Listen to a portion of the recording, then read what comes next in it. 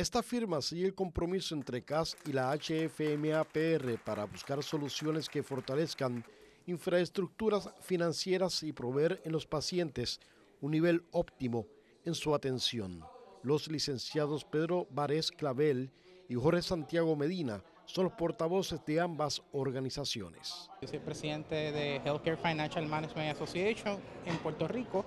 Nuestra organización a nivel nacional tiene más de 100.000 miembros actualmente y Puerto Rico es uno de esos capítulos. HFMA eh, está en todos los temas eh, de lo que es el liderazgo de la finanza en, lo que es eh, en, el sistema de salud.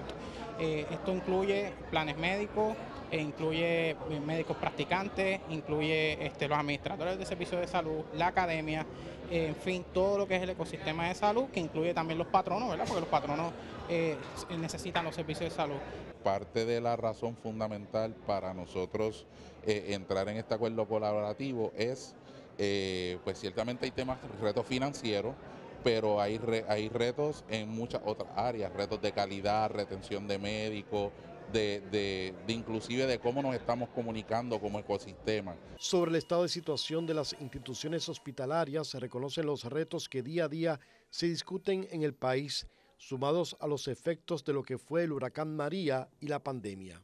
Está el, tema financiero, pero ciertamente yo, yo diría que más que un tema financiero, la, fragilidad del sistema como conjunto.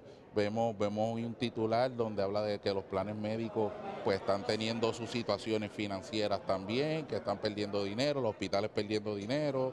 Eh, vemos que el, que pues el gobierno también pues pues tiene sus situaciones dentro del mismo sistema y pienso que es un momento para detenernos y de alguna manera eh, cambiar la forma en que estamos comunicándonos para poderlo hacer de una manera un poquito más, más efectiva. ¿La salud está en coma?